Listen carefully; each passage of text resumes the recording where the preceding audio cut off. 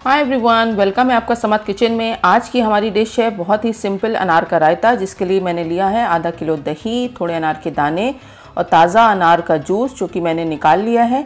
और यहाँ पे है थोड़ा सफ़ेद नमक, थोड़ा भुरा हुआ ज़ीरा पाउडर और ये है शुगर पाउडर और काला नमक। तो चलें देखते हैं इसको हम कैसे बनाएँ। तो मैंने दही को ले लिया है एक बड़े बॉल में और उसमें डाल दिया ज़ीरा पाउडर। और अब डालेंगे इसमें हम थोड़ा सा काला नमक। और थोड़ा सा सफ़ेद नमक, यानी कि वन फोर्थ टी स्पून नमक को हमें कम ही रखना है, क्योंकि उसका जो थोड़ा सा सॉल्टी थोड़ा सा शुगरी टेस्ट होता है, वो बहुत अच्छा लगता है। यहाँ पे मैंने डाल दिया दो चम्मच शुगर पाउडर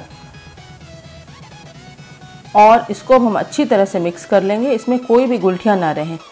और इसको बहुत ही फाइन हमको फेंटना है। बिल्कुल भी इसमें गुलठियाँ नहीं रहना चाहिए, इस चीज़ का ध्यान रखना है।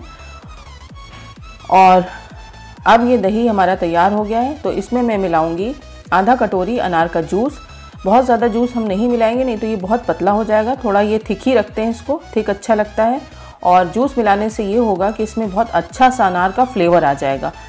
और क्योंकि ये अनार का रायता है तो इसमें अनार के दाने ज़रूरी हैं। तो अब मैं डाल देती हूँ उसमें तीन चम्मच अनार के दाने। और इनको भी मिक्स कर लिया।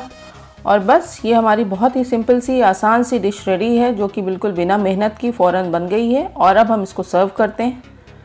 तो सर्व करने के लिए एक मैंने दूसरे बॉल में डाल लिया है और अब मैं साइड में थोड़े से अनार के दाने रख देती हूँ, जिससे ये बहुत ही अच्छा लगने लगेगा देखने में।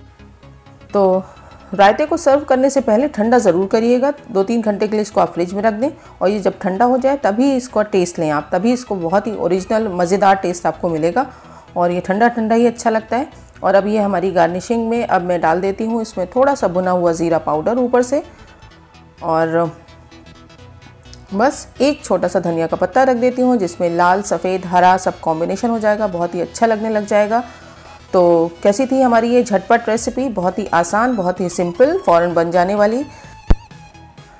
तो जाने से पहले वीडियो को कर दीजिए आप लाइक और शेयर और करिए समत किचन को सब्सक्राइब थैंक्स फॉर वॉचिंग